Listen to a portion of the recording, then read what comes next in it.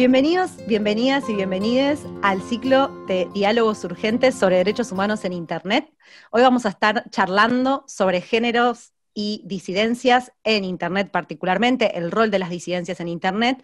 Y tenemos unos, unas y unos grandes compañeros, compañeres eh, que han aportado desde diferentes experiencias a propuestas que hemos llevado a cabo desde Wikimedia Argentina eh, y nos van a acompañar en esta jornada, en esta entrevista del día de hoy. Eh, conmigo se encuentra Constanza Verón, que es quien va a estar llevando la entrevista y las preguntas, y voy a dar paso a la presentación de nuestros colegas.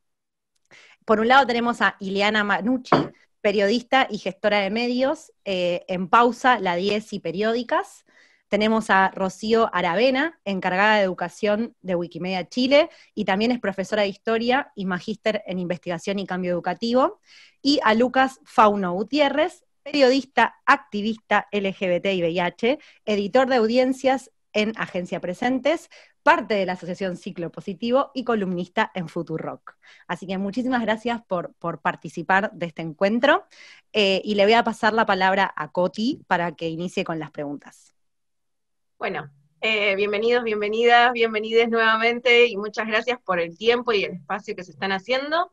Em, y para empezar, digamos, a, romper el hielo de esta entrevista, nos interesaba preguntarles acerca de, sus recuerdos, ¿no? de sus trayectorias, de cuál fue ese primer recuerdo eh, que, tienen en mente sobre su participación en Internet a la hora de visibilizar los reclamos que, llevan adelante. Bueno, cuando estaba pensando un poco, este, a ver cuál podría ser el aporte, y pensaba en esto de, bueno, cuál es el primer registro que yo tengo de, algún tipo de militancia o, activismo a través de Internet, eh, es la militancia, el primer registro de militancia que tengo en mi vida, que fue en 2010, cuando se estaba debatiendo la sanción del matrimonio igualitario. Eh, en ese momento, bueno, hace 10 años yo era bastante más niña, eh, no tenía ninguna experiencia previa de, nada que me haya interpelado significativamente como para, para volcarme a la militancia. Este, venía también como de una familia donde, bueno, estos conceptos de la apolítica o, o del mal concepto de lo que significaba la militancia, entonces nunca me había acercado a nada parecido, y, claramente este, eh, todo el debate que se estaba dando en torno a la, posible sanción de la ley de matrimonio igualitario me interpeló de una forma que no pude no responder. Y en ese momento yo estaba estudiando este, comunicación social y, bueno, también fue como, como, un lugar, como un lugar de entrada. Y tengo un, recuerdos muy claros, este, que también este año, bueno, los rememoramos mucho, porque por el aniversario de la sanción de la ley, los 10 años, de pasar horas peleando este, en Facebook, que era en ese momento la red elegida, para, para discutir con, con, quienes estaban en contra de, de la sanción de la ley. Eh, y recuerdo esto, éramos amigos con quienes íbamos a charlas, con quienes eh, teníamos algún otro tipo de, militancia fuera de, Internet, de estar pasándonos este, noticias y documentos eh, y avisándonos cuando, cuando alguien iba a estar en tele y ahí sacar argumentos, anotábamos argumentos para después ir a pelear en Facebook y para militar eso que, que estaba sucediendo. Eh, y tengo como, nada, como un recuerdo muy fuerte que fue muy este, divertido en algunos sentidos porque también este, habíamos apelado a, responder con humor muchas cosas que eran absolutamente delirantes. Eh, y, nada, creo que en ese momento eh, no, no, teníamos mucha conciencia de, de, lo articulada, la forma articulada en la que estábamos llevando adelante la militancia de eso, y lo puedo ver hoy, digamos, 10 años después, y con otra militancia mucho más extendida en el tiempo. Eh, pero bueno, me parece que fue súper fundante de, los espacios que ocupé después y, de toda la militancia que, vino después a, ese 2010. Totalmente, sabes que te escucho y, y me pongo a pensar mucho que a mí lo que me sucedió, porque nombrás matrimonio igualitario, y yo la gesta de matrimonio igualitario la viví muy de costado. No, era un momento en mi vida en, el cual yo no me involucraba, porque con los años pude comprender que yo medio que lo daba por sentado, como que entendía todo como un proceso orgánico.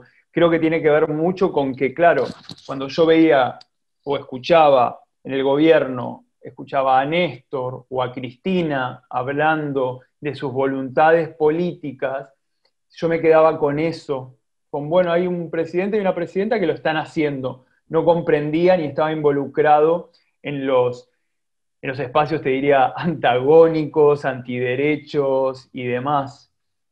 Mi activismo propiamente comienza cuando me diagnostican VIH positivo y yo lo comento en Facebook muy livianamente porque pensaba, si yo ya lo digo acá en Facebook, todas las personas que, con las que yo pueda tener un interés sexoafectivo o demás, ya lo van a leer y listo, me evito la incomodidad del uno a uno, de tener que decirlo acá.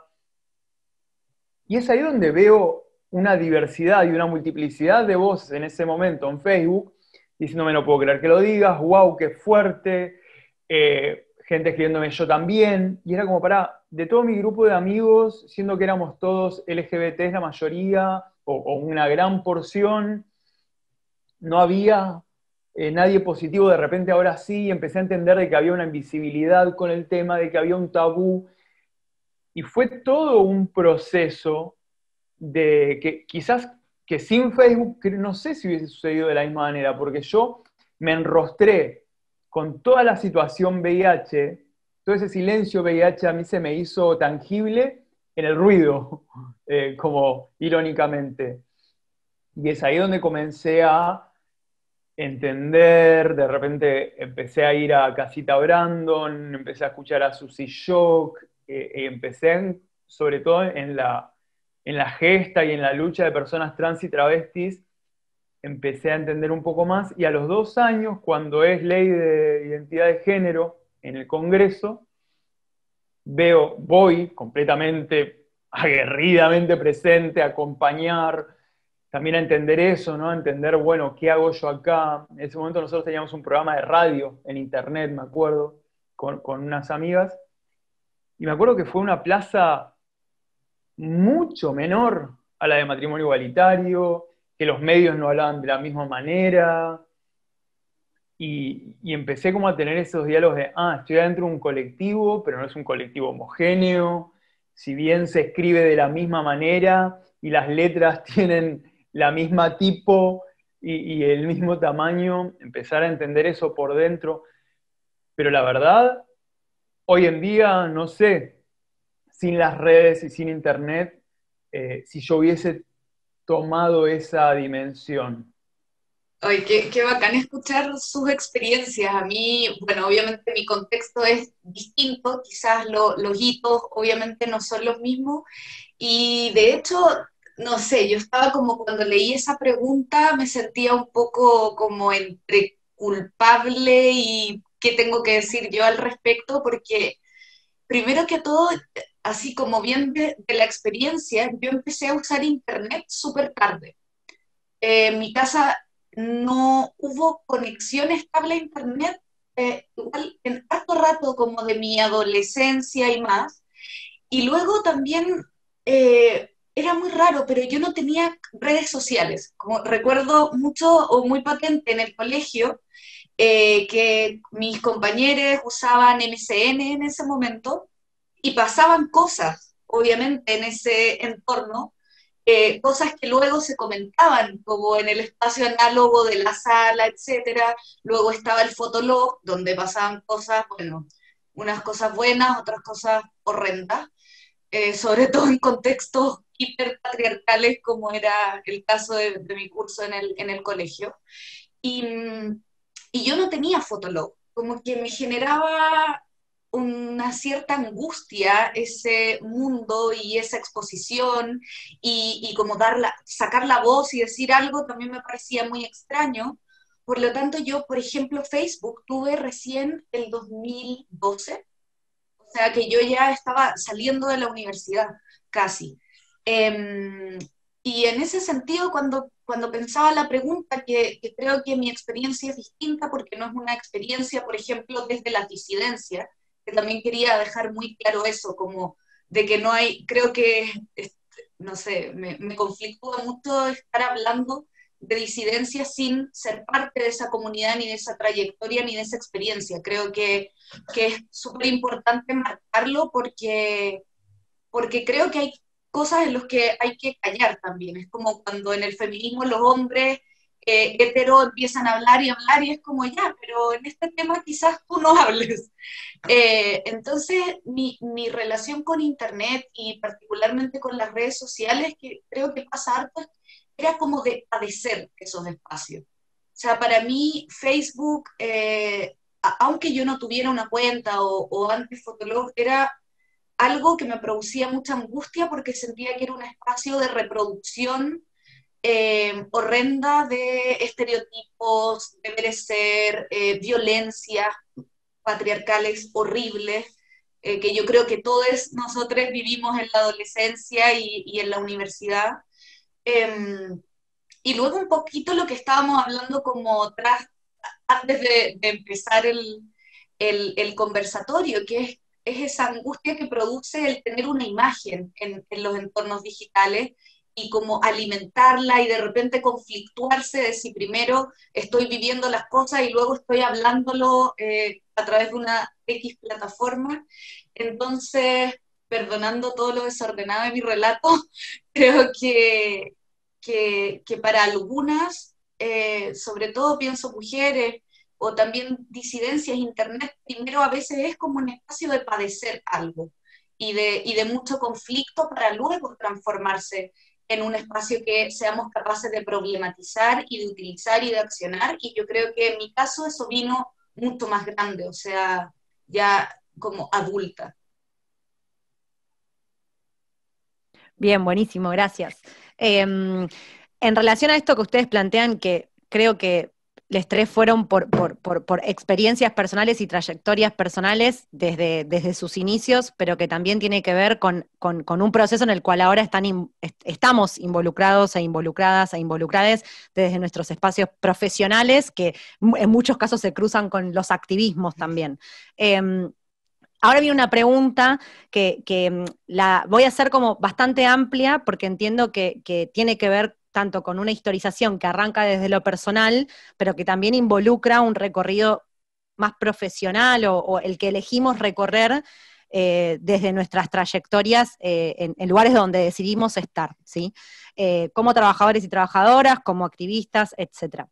Em, ¿Cómo leen ustedes el rol de las disidencias en Internet? Pero ahora esta pregunta va vinculada desde em, cómo creen o cómo también vivieron ustedes cómo fueron estos colectivos apropiándose de Internet, y en este sentido lo pregunto también, Ro, porque em, más allá de que vos está, está perfecto que no, digamos, no te pares del lugar de disidencia, desde Wikimedia Chile trabajan un montón con el colectivo, entonces, ¿cómo creen ustedes?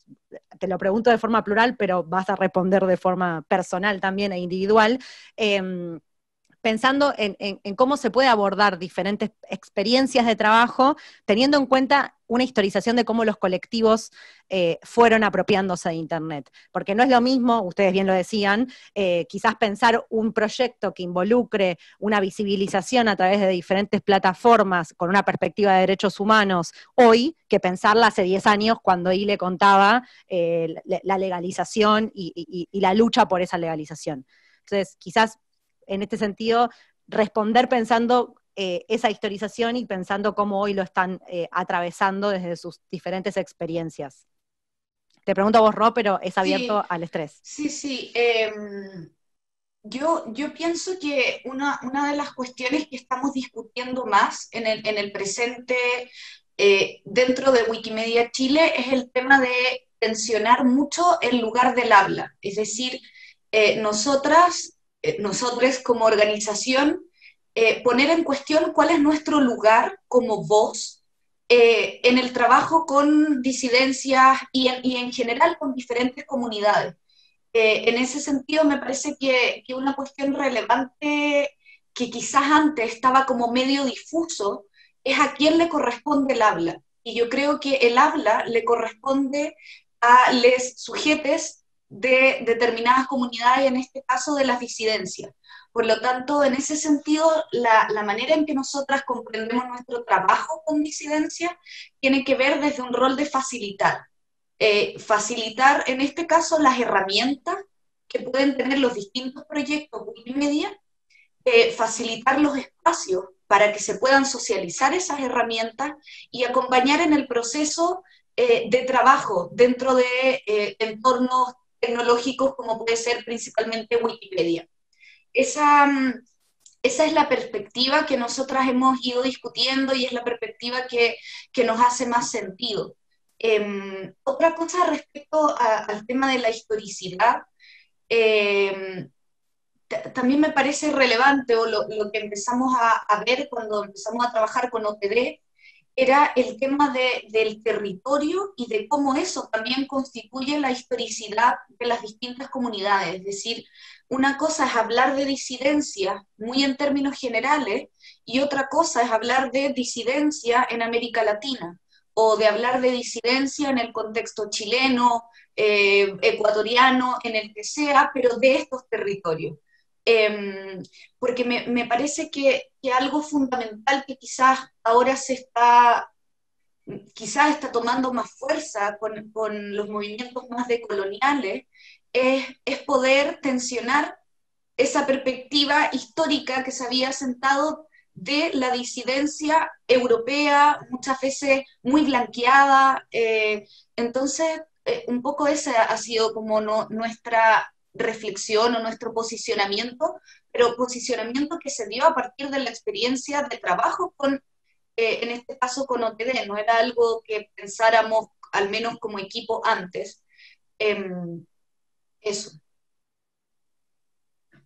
Yo, permiso, sí, totalmente lo que me sucede con cuando hablamos, por ejemplo, de disidencias, incluso cuando hablamos del colectivo LGBTQ, a veces me preocupa eh, pensar que ahí englobamos a todo. Porque, por ejemplo, si hablamos de, nuestro rol como disidencias en las redes sociales y demás, hay que entender, y, creo que está muy claro, quiénes tenemos más acceso a las redes, quiénes tenemos acceso a las herramientas, quiénes tenemos acceso a los conocimientos, no solo del uso, sino de de, cómo usarlo, con quién, con quién tenemos las conexiones. Digo, yo como persona VIH positiva, miro para atrás y comprendo también de que no es casual de que yo tenga una voz dentro del VIH. ¿Por qué?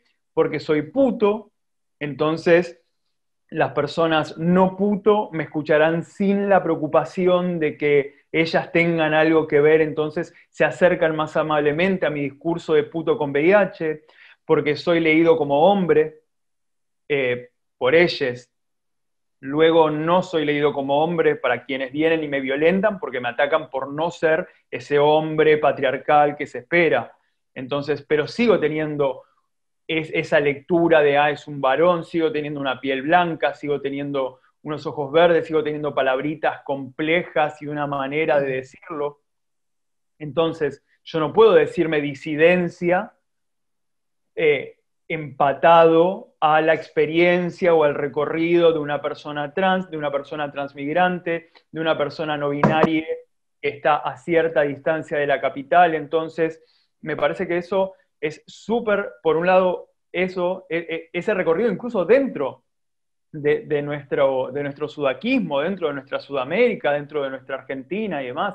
Digo, esto para mí es como una mamushka, o sea, vamos todo el tiempo todo el tiempo quitando. Y creo que nuestro rol, si bien obviamente es el, de facilitadores, el de nexo, el de, bueno, yo tengo este espacio, comparto esta voz, traigo esto, y no solamente comparto esta voz, comparto esta herramienta. Por ejemplo, esta semana veía un documental de personas transmigrantes en Centroamérica. Eh, y bueno, el documental termina dando contactos para poder ayudar, para poder ser parte, pero por eso me parece muy importante que no solo eh, jerarquicemos los, los, roles y los momentos y las voces, esto que decíamos de haber un varón, no varón, vos no vas a llevar la marcha 8 de marzo, vos no vas a estar, pero vos tenés que estar ahí, callado y en el lugar que te corresponde, o articulando de la manera que te corresponde, porque eh, cuando, se, cuando se nos dice o cuando se dice, che, no es acá, no es acá de esta manera, porque estar, tenemos que estar todas, todos y todos. Yo recuerdo el año pasado, cuando teníamos que cortar la avenida 9 de julio, frente al entonces Secretaría de Salud, ahora Ministerio de Salud, eh, y estábamos cortando la calle porque faltaba medicación, yo no sé si las personas que estaban conmigo también eran VIH positivas o no, pero en ese momento lo eran. En ese momento lo eran. Y esas personas entendían que su rol ahí era ayudar en, la en cortar la calle, evitar de que la policía nos pegue, estar atentas con sus celulares a filmar si había violencia policial. Digo, pero tienen que estar, porque si no hay como, siento que hay muchas veces como en esto de decir, bueno, es tu lucha, yo te cedo el lugar, sí, me vas a ceder el lugar, pero te vas a quedar acá. O sea, y te vas a, o sea, me, vas a ceder este lugar, pero nos corresponde este otro lugar, porque si no, siento que hay eh, también como una cierta impunidad benevolente, ¿no? Como de, no, bueno, yo como no soy una persona racializada, eh, yo sé, y entonces eso es muy complejo. Yo por eso siempre reivindico que la salida es entre todos, o no, porque si no, y, es ahí donde valoro tanto las, las redes. Si dejemos si hay red, no nos caemos.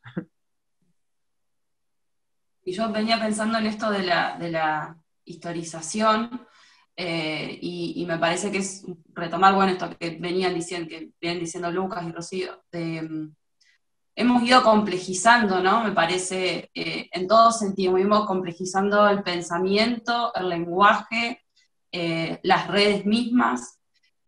Entonces, em, nada, me, parece que, también tiene que ver con, esto que, dice Lucas, digamos, de cómo eh, también nos interpelan cosas que nos suceden y que no, quizás no nos, afecta, no nos afectan directamente, pero sobre las cuales tenemos una responsabilidad, ¿no? Si no es esto, digamos, bueno, no, eh, yo de trans y de trabas no, no hablo o ahí no me meto porque yo no, soy, porque yo no pertenezco.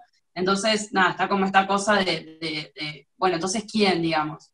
Em, y, justo me, pasaba estos días de que eh, creo que hoy, hoy se cumple el, el cumpliría años Cris Miró, que fue la, primera traba este, visible en nuestra, en, nuestra televisión argentina.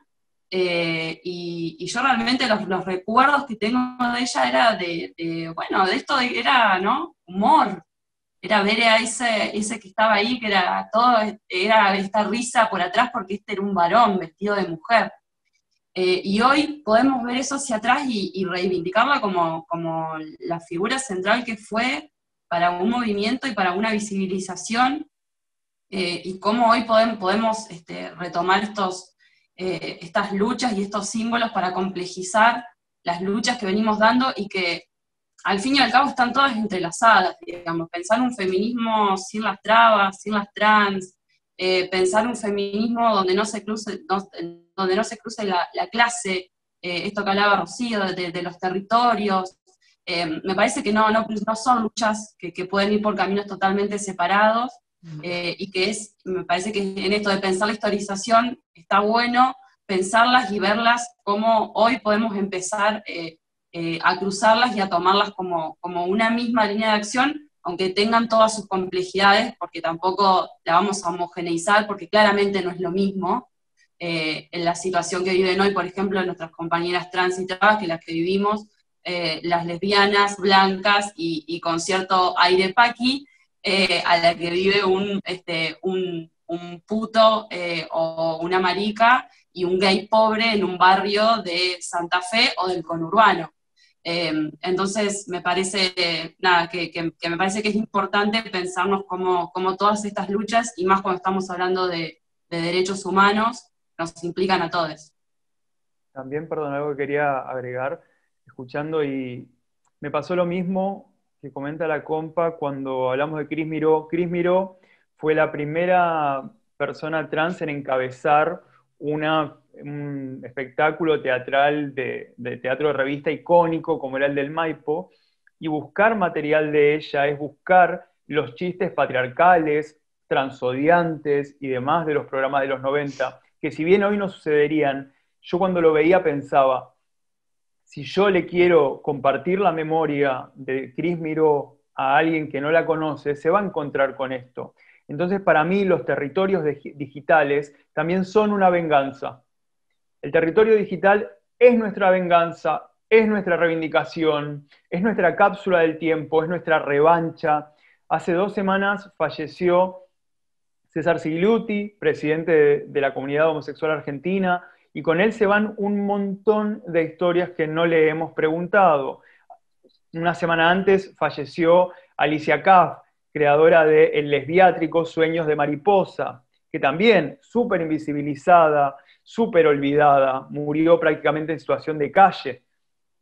Entonces, los territorios digitales tienen que servirnos para retomar esas memorias, para perpetuar esos caminos. Eh, hace varios años también falleció Maite Amaya, una gran activista travesti cordobesa, y sin embargo hay unos videos en YouTube de una entrevista que le hacían a ella para llegar a otra persona, y tenemos una hora y media de Maite Amaya dando una clase magistral, no sé, de, humanidad, de activismo, de reflexión. Entonces, sobre esas muertes, sobre esas invisibilizaciones, porque si se nos asesina constantemente a las personas LGBT a las personas VIH positivas, y cuando digo asesinar, hablo de asesinatos físicos de nuestros cuerpos, pero también identicidios de nuestras identidades, cuando no podemos ser, cuando no podemos hablar, cuando no podemos existir, cuando se asesina nuestra identidad, creo que las redes y, los medios, y obviamente en este caso las redes informáticas y más,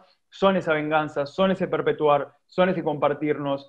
Roberto Jauregui no tenía un perfil de, wiki y lo hicimos eh, con Wikimedia Argentina, con Ciclo Positivo, y es, fue la primera persona VIH positiva visible. O sea, las muertes de las personas por causas relacionadas al VIH y al SIDA, yo, y a título totalmente personal, lo considero un crimen de odio. Porque VIH, hasta que no le tocó los huevos a un hombre blanco, cis, hetero, clase media alta, no se buscó una respuesta. No pueden hablar ahora cuando salen a decir, ah, como COVID parecido a VIH, no.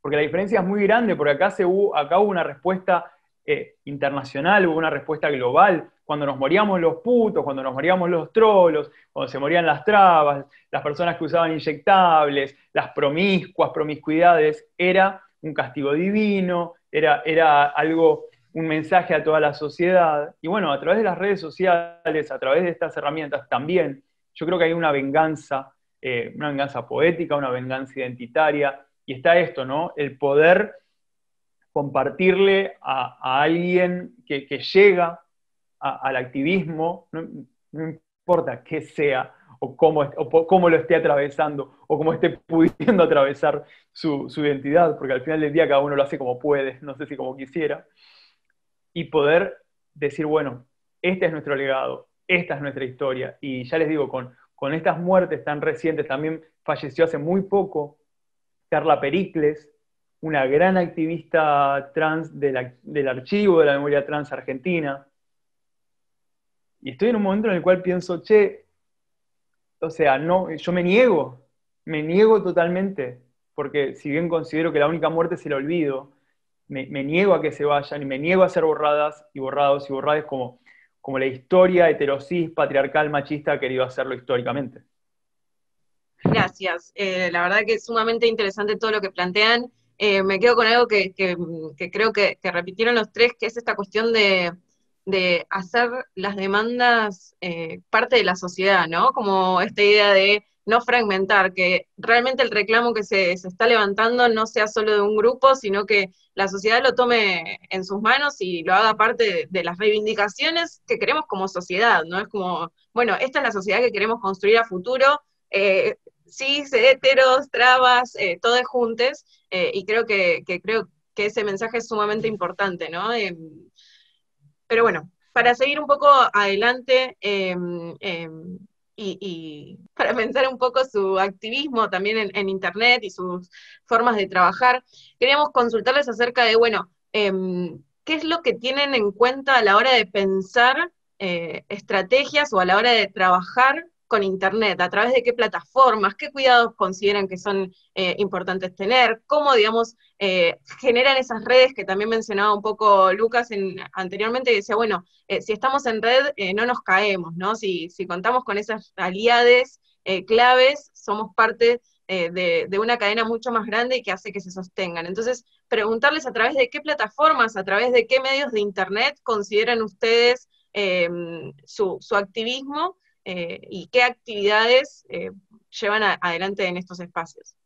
Bueno, yo soy periodista y, bueno, en este momento eh, ejerzo el oficio en tres medios acá en, la ciudad de Santa Fe, que son tres, medios cooperativos, autogestivos. uno es el periódico Pausa, que tiene ya 12 años, tiene edición papel y edición web. La 10, que es un portal de fútbol femenino y feminista, que lo fundamos en el 2018, y Periódicas, que es un, portal este, también donde de abordaje de, claramente desde la, la perspectiva de género, que nació en 2019 y que lo fundamos 20 eh, mujeres lesbianas. Eh, y hoy podemos decir que somos el único medio de la región que tiene una compañera trans, eh, lo cual para nosotros es, eh, es un orgullo total poder sumar a, a, Vicky, que aparte es una militante muy grosa, este, será presidenta de la Nación en algún momento, como lo soñó Loana. Em, así que bueno, nada, en ese, los tres medios este, tienen claramente perspectiva de género, de derechos humanos, eh, hay tipos de abordajes que no se discuten. Este, sabemos lo que pensamos este 24 de marzo, sabemos lo que pensamos eh, respecto del aborto, sabemos lo que pensamos de, bueno, en su momento, digamos, del matrimonio igualitario, por ejemplo, eh, Pausa nace en el 2008 y en ese año ya puso en tapa una discusión que se estaba dando en Santa Fe, que era la unión civil, ¿no? Previo al matrimonio igualitario. Y, lo puso en tapa en un momento en que en Santa Fe todavía caminaba por las calles de Stormy, que era un arzobispo que, que, tenía este, denuncias de abuso, eh, y era totalmente eh, cubierto todavía por, los grandes medios de la ciudad, y vino un pequeño medio a irrumpir y, a decir otra cosa, Em, entonces, digamos, desde ahí, desmarcando eso, este, estos, estos, otros medios eh, tienen una, línea muy clara de, lo que piensan y, del tipo de comunicación que queremos hacer y, de las voces que queremos eh, incluir ahí. Yo cuando empecé, este, empecé a hacer periodismo en el 2011, en pausa, em, y, y hoy cuando, cuando tengo que, hablar de algún tema que tenga que ver con, por ejemplo, con el colectivo trans y eh, directamente ofrezco la nota a una compañera. Eh, digo, es esto de dar la voz y que hace 10 años atrás quizás no encontrábamos a quién, no conocíamos, no sabíamos, porque siempre estuvieron las compañeras, por supuesto, eh, y hoy eso lo, podemos, lo podemos hacer y entendemos que tiene que ser así. Em, entonces, nada, me parece que, digo, yo pienso estos medios, eh, yo nunca trabajé en un medio tradicional de comunicación, en un medio hegemónico, donde sufriera discriminación este, o donde me bajaran una línea que a mí no, me interesaba. Eh, entonces, me, considero un poco una privilegiada en el lugar en el que hago periodismo desde siempre, eh, y creo que ese periodismo tiene que ser transformador. Eh, entonces, a partir de ahí, este, las redes que se tejen son siempre con las organizaciones que, trabajan en ese sentido, que trabajan en territorio, que trabajan con perspectivas de derechos humanos. Eh, y, bueno, y las plataformas se han ido ampliando, digamos. Este, eh, estos tres medios tienen sus páginas web y sus redes sociales. y también, bueno, esto de, pensar que los mensajes pegan distinto también según en qué red estamos hablando y llegan a distintas personas, ¿no? Facebook hoy es como un lugar donde está mi mamá y mis tías, eh, y entonces eh, los mensajes tienen eh, otra, una llegada distinta, y generan una repercusión distinta a, las discusiones que podemos dar en Twitter o en Instagram, que quizás es mucho más, mucho más amable. Em, pero bueno, nada, esto, digamos, las, vinculaciones por lo menos que podemos hacer desde, desde esos lugares, con, la idea que tenemos del, periodismo y de la comunicación como un derecho humano, siempre, siempre es con, con organizaciones y con colectivos que estén este, trabajando en ese, en ese mismo sentido. Yo me quedé pensando un poco, perdón que retomen la, eh, como de la pregunta anterior, pero a partir de lo, de lo que decía Ile, eh, en el tema de, de, de, el habla, del lugar del habla que corresponde a diferentes eh, sujetos, sujetas, sujetes y comunidades, y también de las redes, porque em, si bien yo, yo pienso que obviamente hay, mientras mejor nos podamos articular y mientras más seamos en las diferentes demandas y mientras más apañe nos demos entre las distintas comunidades, eh, sobre todo si lo estamos pensando en cuestiones de derechos humanos, es más, o sea, suma.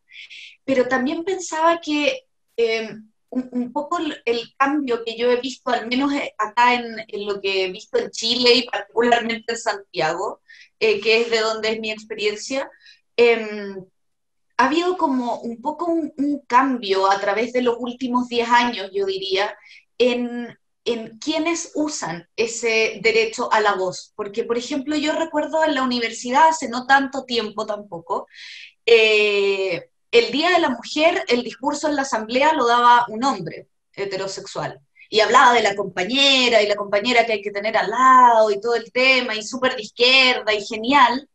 Em, pero creo que lo que ha ido pasando eh, a lo largo del tiempo es que se ha ido complejizando un poco eso, o sea, poder entender que hay que no hay que tapar a otros o a otros cuando, cuando estamos hablando sobre todo de demandas de comunidades que han sido históricamente invisibilizadas.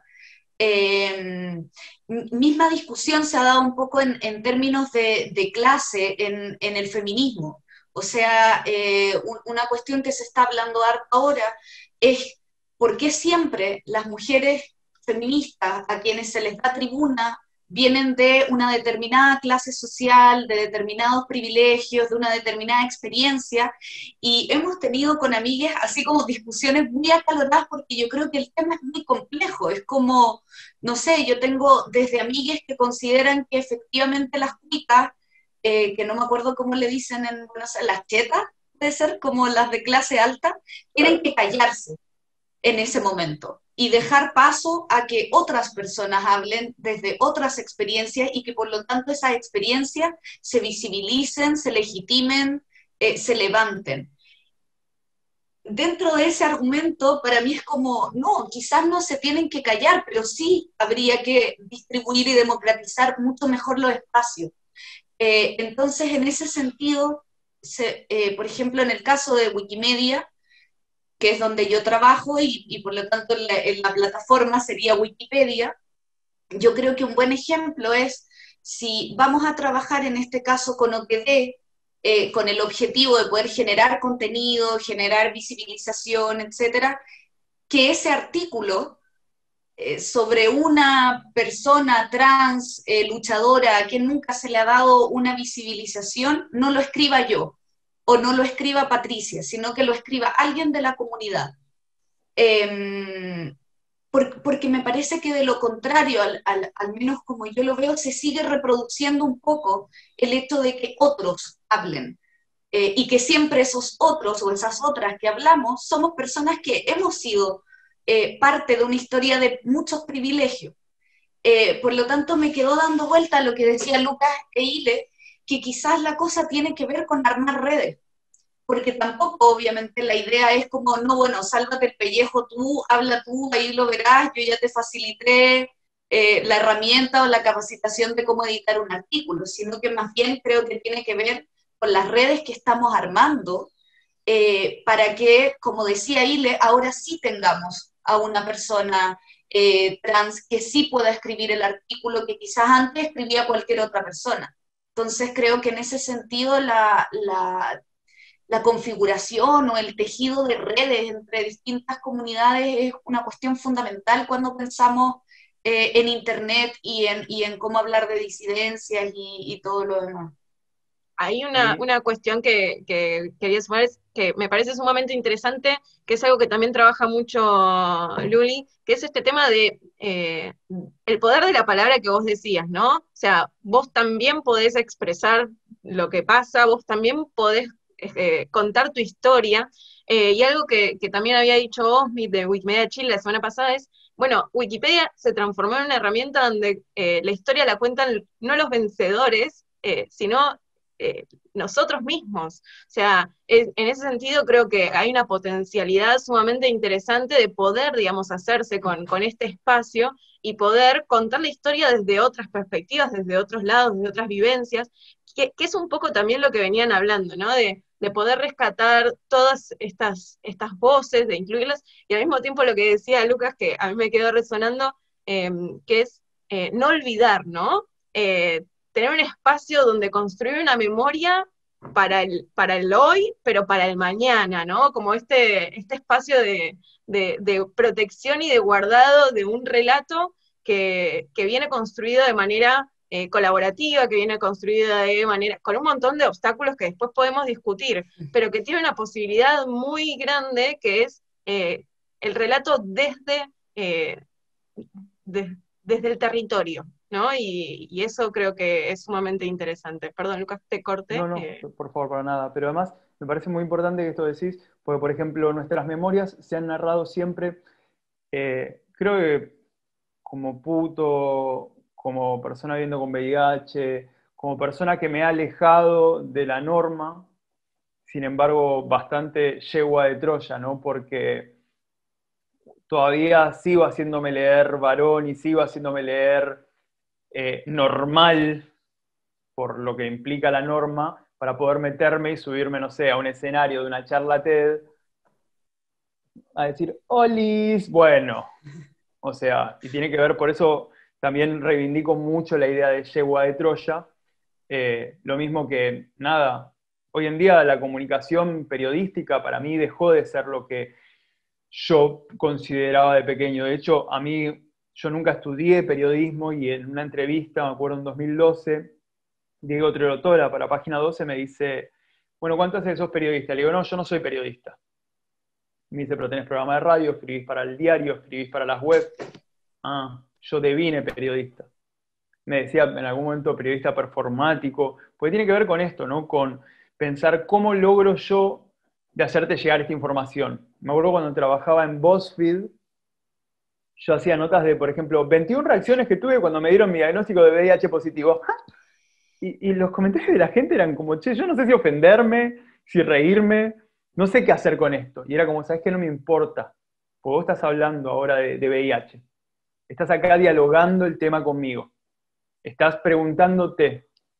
Estás viendo. Yo subiéndome a una charla TED, todo, todo, todo blanco. Hola, ¿cómo están? Ah, miren, un dibujo. Ah.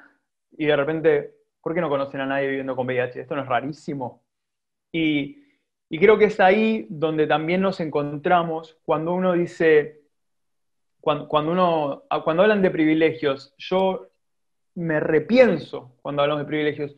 Yo, si bien tengo un montón de privilegios, yo creo que tengo más derechos básicos cubiertos que privilegios, porque yo no podría jamás considerar un privilegio ni mi casa, ni mi estudio, ni mi comida diaria, ni mis amigos, ni mi tiempo de esparcimiento. Porque tanto mis amistades como mi tiempo de esparcimiento son derechos básicos humanos. Derecho a que me quieran por como soy, que me aprecien por como soy, derecho a poder rascarme el culo como quiero, derecho a poder tener el objeto material que quiero, porque si no, es como siempre, ¿no?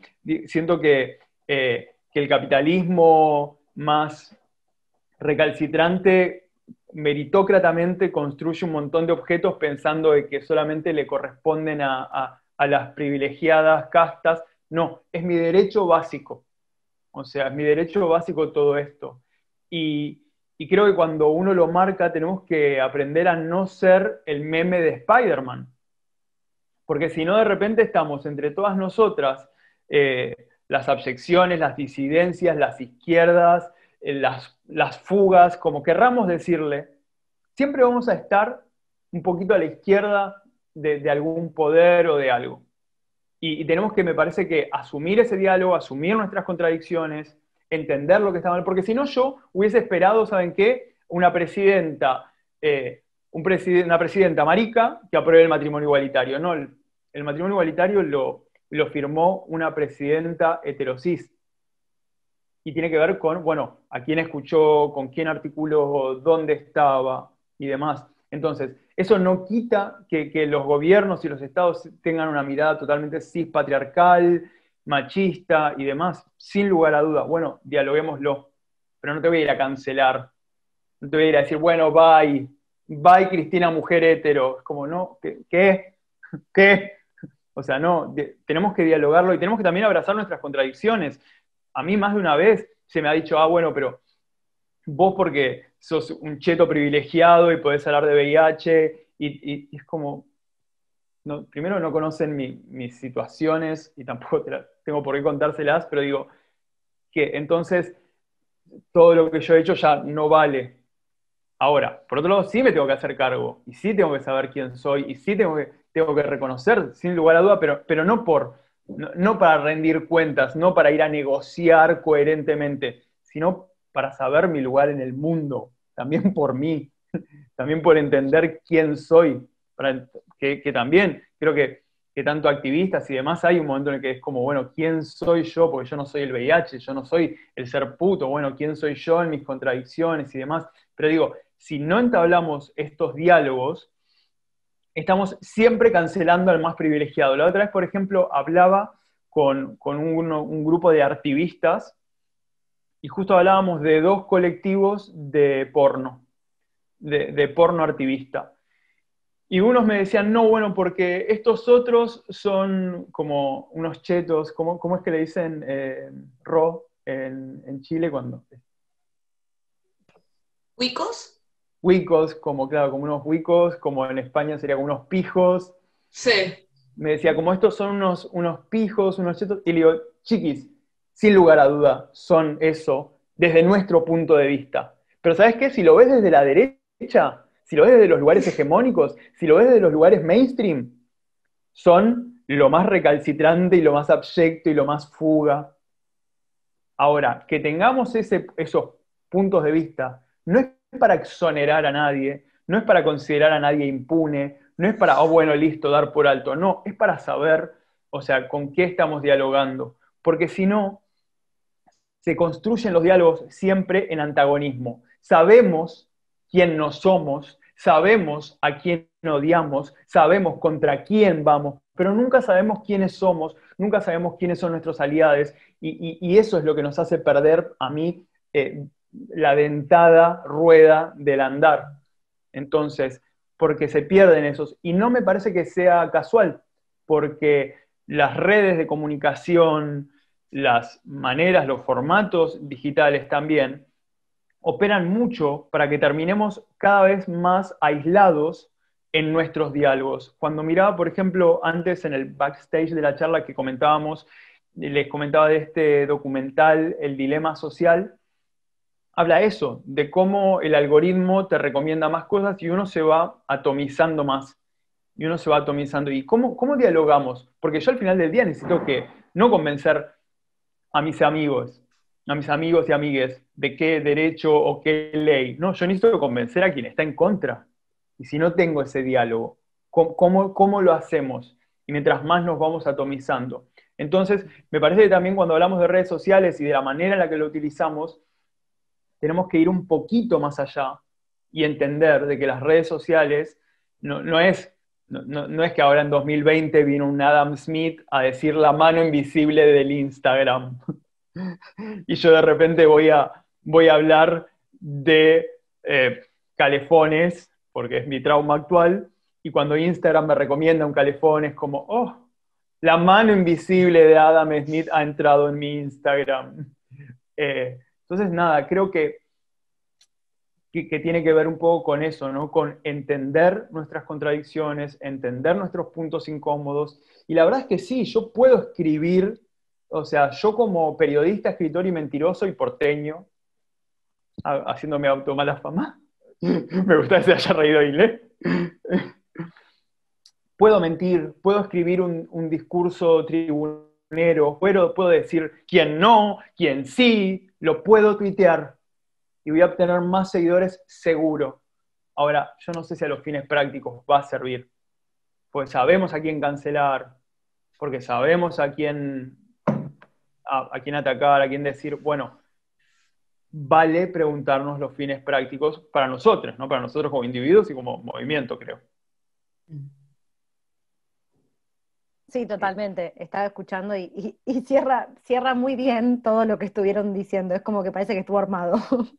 Pero no, claramente sabemos dónde estamos parados, paradas y parades, leemos, y en esto eh, retomo a Ile porque me parece que, que, que estamos en ese lugar desde nuestras experiencias, que es pensar la comunicación como un derecho humano eh, y entender muy bien cuando proyectamos con quiénes trabajar eh, eh, esa, necesidad de pensarla como un derecho humano. Y eso involucra a medios cuando, cuando sos periodista escribiendo al respecto, involucra a especialistas en educación y personas que trabajan con comunidades cuando piensan en plataformas como Wikipedia para visibilizar, para dar voz, para registrar, para documentar, para liberar.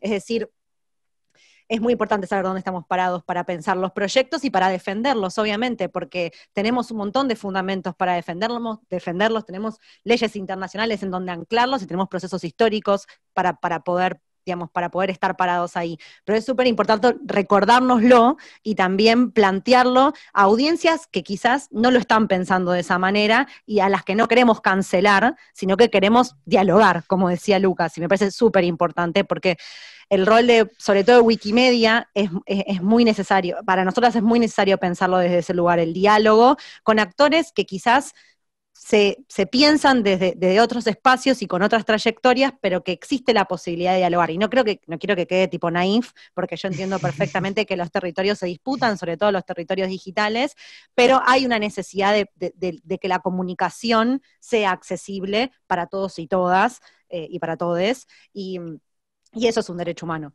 Bueno, eh, para cerrar, eh, porque ya nos estamos extendiendo y a mí me parece súper interesante y son debates muy necesarios, por eso son diálogos urgentes, em, que todo el tiempo los estamos dando. Em, quizás preguntarles, porque Internet es re lindo, Internet es la cápsula del tiempo, como decía Lucas, es un espacio como, como es la bajada de Wiki Derechos Humanos, eh, en un lugar donde se construyen memorias eh, en los territorios digitales. Pero bueno, obviamente hay desafíos hay incomodidades, hay contradicciones con las que trabajamos todo el tiempo cuando pensamos los proyectos, eh, porque no nos podemos olvidar de eso en ese sentido. Entonces, quizá preguntarles a ustedes qué desafíos, no hace falta que entremos en puntear uno por uno, pero quizás alguno que tengan como mucho más presente, porque justo en este contexto se nos estalló en la cara, eh, qué desafíos tenemos como eh, muy presentes eh, al pensar estas visibilizaciones, estas luchas, estos diálogos en Internet que, siempre generan, eh, digamos, siempre problematizamos, porque es necesario problematizarlos. Entonces, cuando hablamos de disidencias, cuando hablamos de luchas de los feminismos o de los movimientos en general de las comunidades históricamente vulneradas, qué estrategias y pensamos para poder encarar esos desafíos? En primer lugar, ¿qué desafíos ustedes ven y qué estrategias hoy quizás son las que más tienen a mano para poder seguir visibilizando? Porque más allá que identifiquemos desafíos, nuestro objetivo es visibilizar. Entonces, bueno, para poder cerrar con, una perspectiva que siga problematizando este contexto. Mm, yo pienso que, desde, desde Wikimedia eh, y un poco tomando lo que Luli decía, así como riéndose, como no quiero sonar naif de que Wikipedia es como el, el mundo de todos, pero, pero yo creo que sí, o sea, que el, que el, desafío es, en, en, primer lugar, el poder efectivamente contribuir a esa polifonía de voces. Yo creo que, yo creo que eso es un fundamento importantísimo, hermoso, movilizador que tiene eh, el movimiento pero que es necesario seguir haciéndolo carne. O sea, yo creo que es un desafío permanente em, por lo tanto, yo, creo que el desafío es poder eh, lograr una mayor polifonía de voces, eh, poder al mismo tiempo incorporar los territorios, que era lo que, lo que estábamos hablando al comienzo, o sea, particularmente en lo que respecta a las disidencias, eh, lo que nosotras hemos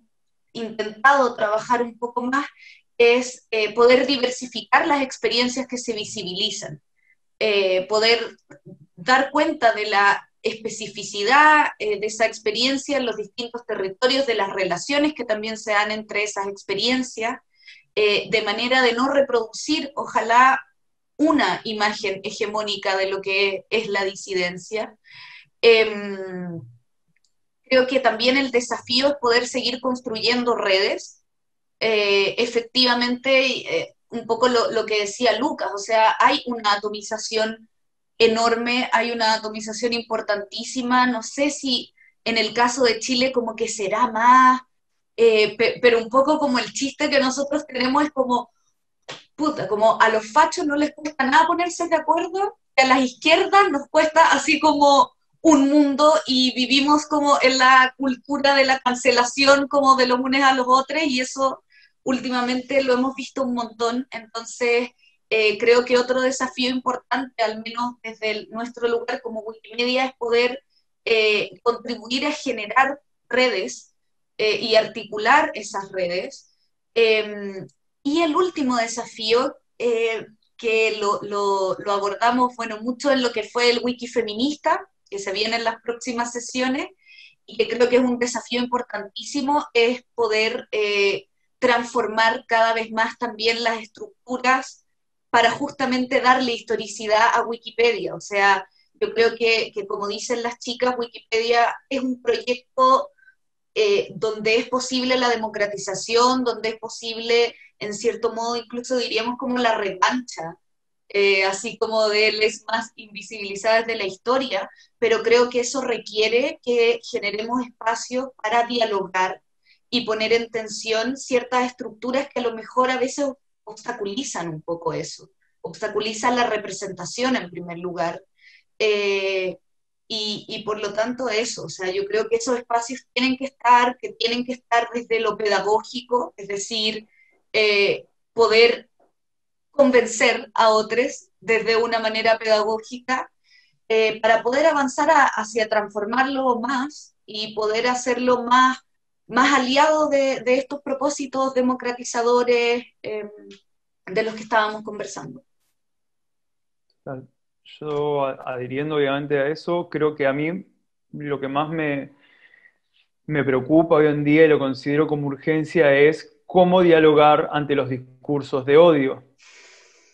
Y, no solamente ante los, los líderes de odio, los, los popes, las cabezas, porque comprendo que hay una dinámica de hidra ahí, de, que se corta una y aparecen nueve. Digo, hay, un contexto de odio muy grande, un contexto de odio nutrido por la desinformación. Digo, el contexto de odio, como decía anteriormente, no, no nace de la nada, hay una digitación. Entonces, me preocupa mucho cómo dialogar, sobre todo porque cuando veo que del otro lado lo que me desean o por lo que articulan o por lo que se mueven es para eliminarme, sea física, identitaria o comunicacional o como sea, mente, em, es muy complejo. Entonces, hoy en día es creo que lo, que más me, preocupa.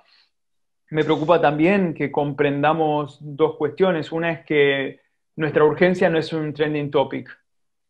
Em, digamos que, las situaciones lo que pasa duran más que un trending topic.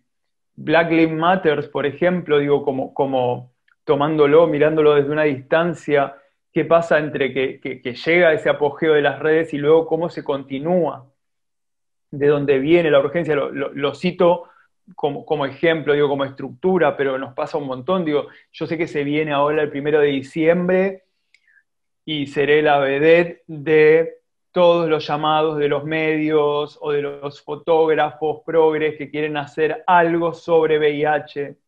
Y de vuelta, yegua de Troya, iré a articular, a conseguir, pero digo, las urgencias no duran lo que un trending topic, tienen otra realidad, tienen otra cuestión.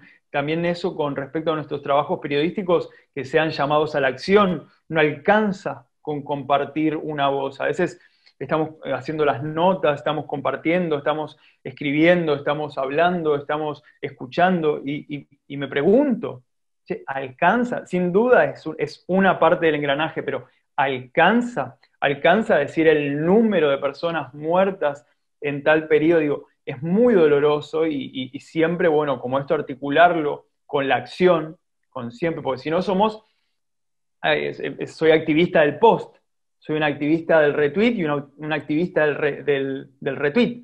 Y, me parece muy preocupante desde ese lugar. Y por último, creo que sin interseccionalidad no podemos, eh, no, no vamos a poder avanzar. Hoy en día yo estoy formándome y aprendiendo muchísimo en todo lo relacionado al, al activismo ecosocioambiental, tanto con jóvenes por el clima, JOCA, que tienen muchísima información y un accionar político súper interesante, como con, compañeras de territorio, como por ejemplo, le digo mucho, no seas, soy mujer coya, eh, a las compañeras de mujeres, del movimiento de mujeres por el buen vivir, y, es aprender y es compartir y todo, pero digo, como, y a la vez, siempre cuando charlo, por ejemplo, con los jóvenes de cambio climático, les digo, por un lado, como puto, yo sé que necesitamos un mundo donde vivir, yo sé que suena obvio, pero necesitamos de este medio ambiente y demás. Pero por otro lado, yo no voy a luchar porque ese mundo a habitar o ese mundo que estamos habitando sea un mundo en el cual las trans y travestis sigan teniendo un promedio de 35 años de vida. Yo no voy a luchar, no voy a hacer un compost para que el mundo lo disfrute, un machirulo de mierda, mientras a mí me falta medicación VIH.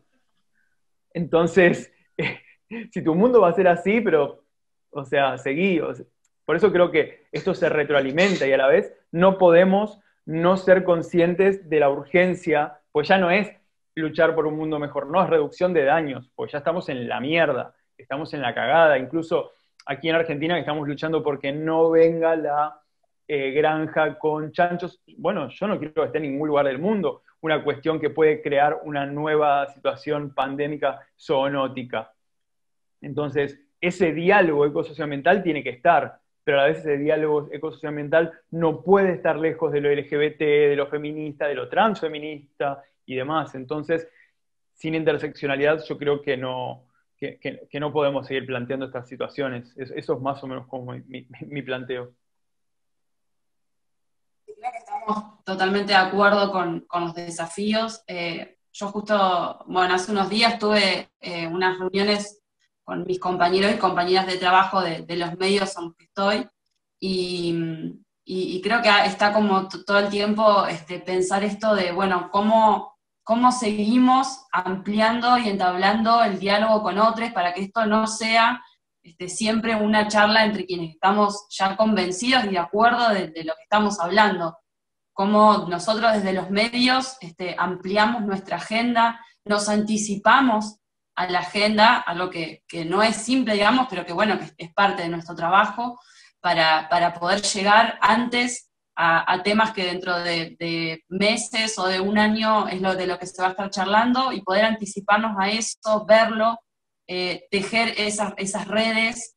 Eh, eso, eso me parece que, que, que es clave que es algo también con lo cual, con esto que venimos hablando, las redes a veces son un poco tramposas, ¿no? Esto de que siempre el algoritmo nos está mostrando siempre aquello que nos va a reforzar nuestras, nuestras ideas y nuestras convicciones y lo que pensamos. Entonces también hay que ver de qué, de qué forma vamos este, desentrañando esas trampitas que nos van dando.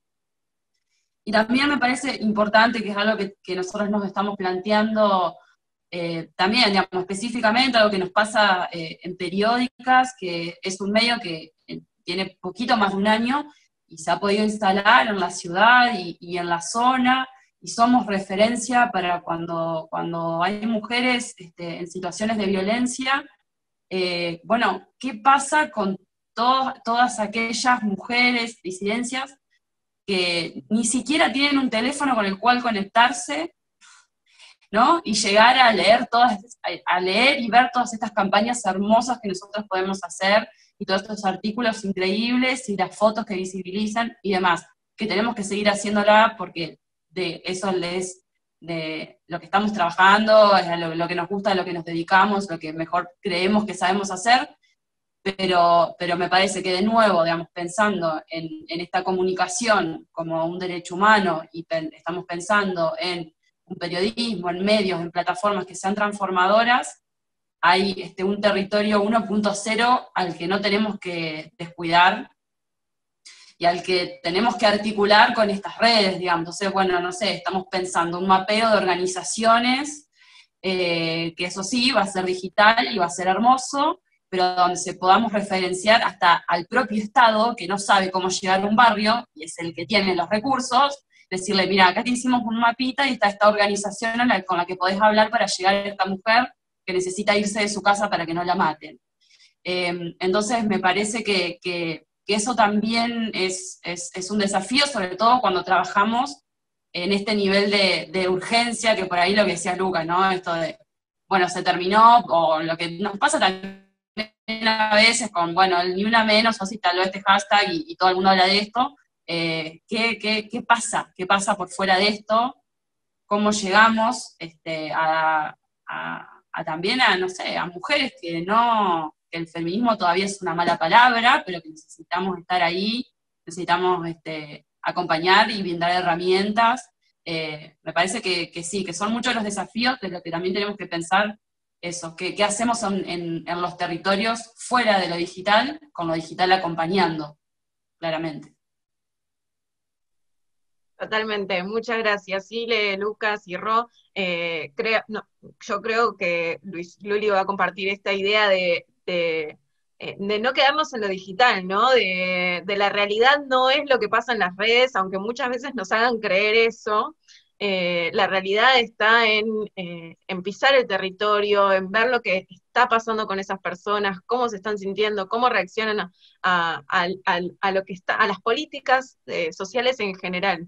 Y ahí también, para ir cerrando, me quedaron como resonando varias cuestiones que fueron trayendo a, colación. Una es la importancia de la interseccionalidad, creo que ahí hay como, bueno, estamos todos de acuerdo de que es necesario que no estemos solos, no estemos solas, no estemos soles, que eh, tiene que ser algo que, que interpele, eh, de, de, no aislarnos, de no generar fragmentación en, en, nuestros reclamos, sino al contrario, tratar de incorporar desde, a veces, eh, gente que quizás ni esperábamos que pueda sumarse a, a nuestros propios eh, reclamos, que pueden ser aliados también. Em, algo que creo que está muy de moda y que tiene que ver también con esto de, de, del uso de la Internet y de las redes es cómo hacemos para romper ese algoritmo, ¿no? Porque como todos decían, es, le seguimos hablando a los que ya están convencidos, a las personas que eh, ya sabemos que nos acompañan y eh, creo que esa es una tarea que, que, es muy difícil porque también uno tiende a, uy, eh, a bajar, ¿no? De decir, bueno, no, esto no lo quiero escuchar, no lo quiero oír, eh, y al mismo tiempo está como eh, sumando eh, datos a ese algoritmo que nos va a decir, bueno, a este no le va a interesar este, este no va a escuchar, eh, y parte también de, dar la discusión es, bueno, saber qué es lo que está pasando del otro lado y poder tener un poco como decía ir al principio, los ir a escuchar los argumentos de, de la gente que votaba en contra del matrimonio igualitario, eh, y tomarnos, ¿no? Hacer esos argumentos y desarmarlos eh, a partir de, de nuevas eh, propuestas. Em, y después algo que, que, creo que está muy enlazado con todo lo que venimos hablando, que es este, este derecho a la información, este derecho a la comunicación, que yo lo veo como un derecho a la cultura, ¿no? Un derecho al acceso a la cultura que tenemos todos por igual, un derecho a vivir, pero que en, en, nuestros contextos eh, a vivir, digamos, la, las manifestaciones sociales, a vivir eh, lo, que, lo que pasa en nuestros entornos, pero que no sea solo desde lo digital, que tenga este enraizamiento en, en el contexto, en lo que nos pasa eh, en las calles, en los territorios, como para ir cerrando, para mí esto, eh, pensar en Internet como un espacio también donde construimos memoria, ahora cada vez decimos más eh, Internet, nadie recibe, resiste un archivo en Internet. Antes decíamos nadie resiste un archivo, ahora decimos nadie resiste un archivo en Internet. Eh, nadie tiene olvido en Internet de lo que sucede. Em, y al mismo tiempo, eh, cómo podemos usar Internet a nuestro favor, ¿no? Y, generar esos espacios de comunicación, esos espacios de memoria, esos espacios para eh, romper con esos discursos hegemónicos. Eh, te doy paso. Gracias, Coti. Bueno, no tengo mucho más que agregar. Eh, me quedo con lo que comentaba Ile, que también en contexto de pandemia es como que parece que de repente nos volvió a, refregar en la cara que, claramente hay un montón de personas eh, en mi caso, que estoy en el ámbito de la educación, un montón de chicos, chicas y chiques que están completamente por fuera de acceder a mínimamente a la información eh, desde cualquier tipo de dispositivo porque no pueden hacerlo.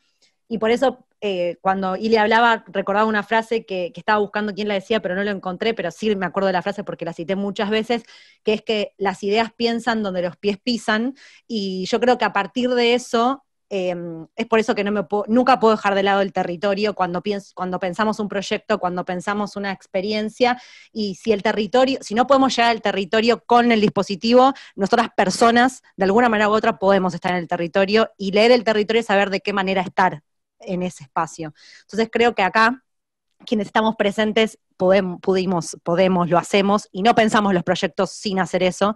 Y creo que eso es importante para cualquier experiencia que permita o que intente eh, intervenir territorios digitales desde una perspectiva de derechos humanos, eh, sin olvidarnos desde dónde estamos parados, porque si no, no vamos a llegar a muchas personas sabiendo nuestras cuestiones puntuales de conectividad eh, que son muy urgentes. Em, así que muchísimas gracias, Ro, muchísimas gracias, Lucas, y muchísimas gracias, Ile. La verdad que siempre es un placer encontrarles en las calles, en las aulas, en los espacios digitales y en muchísimos otros territorios que compartimos. Eh, así que les agradecemos y nos encontramos en otro episodio de Diálogos Urgentes, que siempre hay urgencias que charlar.